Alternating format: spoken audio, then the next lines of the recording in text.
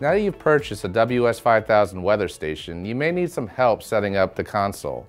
This video will go over setting the date and time, changing units of measure, and entering your barometric pressure. Setting up the date and time. First, we press the gear button, then the down button, and then the magnifying glass.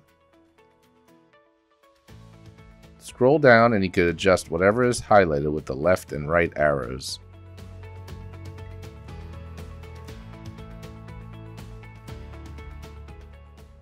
By scrolling down and using the magnifying glass, we can change all the different units of measure on the devices.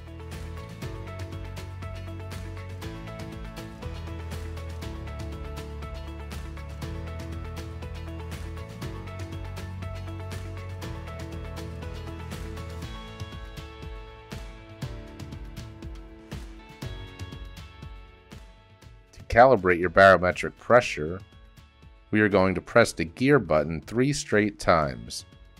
This will take us to the calibration screen.